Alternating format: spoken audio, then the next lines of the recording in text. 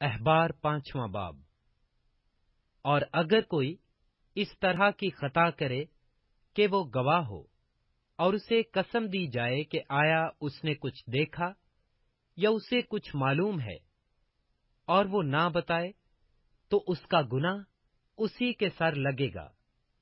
یا اگر کوئی شخص کسی ناپاک چیز کو چھو لے، خواہ وہ ناپاک جانور یا ناپاک چوپائے یا ناپاک رینگنے والے جاندار کی لاش ہو، تو چاہے اسے معلوم بھی نہ ہو کہ وہ ناپاک ہو گیا ہے، تو بھی وہ مجرم ٹھہرے گا۔ یا اگر وہ انسان کی ان نجاستوں میں سے جن سے وہ نجس ہو جاتا ہے، کسی نجاست کو چھو لے اور اسے معلوم نہ ہو، تو وہ اس وقت مجرم ٹھہرے گا جب اسے معلوم ہو جائے گا۔ یا اگر کوئی بغیر سوچے اپنی زبان سے برائی یا بھلائی کرنے کی قسم کھا لے، تو قسم کھا کر وہ آدمی چاہے کیسی ہی بات بغیر سوچے کہہ دے، بشرطے کہ اسے معلوم نہ ہو، تو ایسی بات میں مجرم اس وقت ٹھہرے گا جب اسے معلوم ہو جائے گا۔ اور جب وہ ان باتوں میں سے کسی میں مجرم ہو تو جس امر میں اس سے خطا ہوئی ہے، وہ اس کا اقرار کرے اور خداون کے حضور اپنے جرم کی قربانی لائے۔ یعنی جو خطا اس سے ہوئی ہے، اس کے لیے ریوڑ میں سے ایک مادہ یعنی ایک بھیڑ یا بکری خطا کی قربانی کے طور پر گزرانے اور کاہن اس کی خطا کا کفارہ دے۔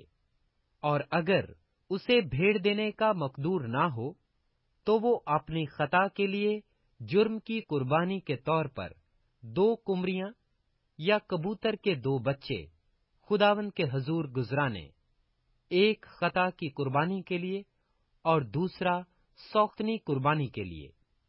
وہ انہیں کاہن کے پاس لے آئے، جو پہلے سے اسے جو خطا کی قربانی کے لیے گزرانے اور اس کا سر گردن کے پاس سے مروڑ ڈالے، پر اسے الگ نہ کرے۔ اور خطا کی قربانی کا کچھ خون مذبح کے پہلو پر چھڑکے اور باقی خون کو مذبح کے پایا پر گر جانے دے۔ یہ خطا کی قربانی ہے۔ اور دوسرے پرندے کو حکم کے موافق سوختنی قربانی کے طور پر چڑھائے۔ یوں کاہن اس کی خطا کا جو اس نے کی ہے کفارہ دے تو اسے معافی ملے گی۔ اور اگر اسے دو کمریاں یا کبوتر کے دو بچے لانے کا بھی مقدور نہ ہو، تو اپنی خطا کے واسطے، اپنے چڑھاوے کے طور پر ایفا کے دسویں حصہ کے برابر میدا خطا کی قربانی کے لیے لائے۔ اس پر نہ تو وہ تیل ڈالے، نہ لبان رکھے، کیونکہ یہ خطا کی قربانی ہے۔ وہ اسے کاہن کے پاس لائے اور کاہن اس میں سے اپنی مٹھی بھر کر اس کی یادگاری کا حصہ مذبح پر خداون کی آتشین قربانی کے اوپر جلائے۔ یہ خطا کی قربانی ہے۔ یوں کاہن، اس کے لیے ان باتوں میں سے جس کسی میں اس سے خطا ہوئی ہے، اس خطا کا کفارہ دے تو اسے معافی ملے گی۔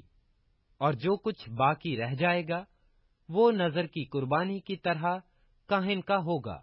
اور خداون نے موسا سے کہا اگر خداون کی پاک چیزوں میں سے کسی سے تقسیر ہو اور وہ نادانستہ خطا کرے، تو وہ اپنے جرم کی قربانی کے طور پر ریوڑ میں سے بے عیب مینڈا خداون کے حضور چڑھائے۔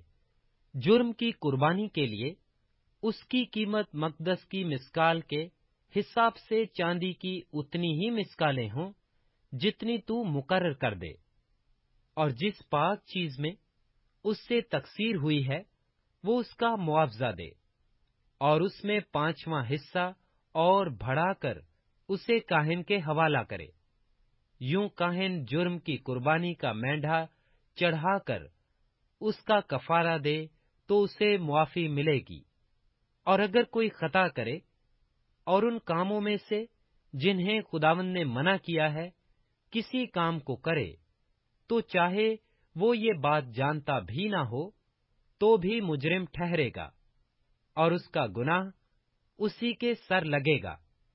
پس وہ ریوڑ میں سے ایک بے عیب مینڈا اتنے ہی دام کا جو تو مقرر کر دے، جرم کی قربانی کے طور پر کاہن کے پاس لائے۔ یوں کاہن اس کی اس بات کا جس میں اس سے نادانستہ چوک ہو گئی کفارہ دے تو اسے معافی ملے گی۔ یہ جرم کی قربانی ہے، کیونکہ وہ یقیناً خداون کے آگے مجرم ہے۔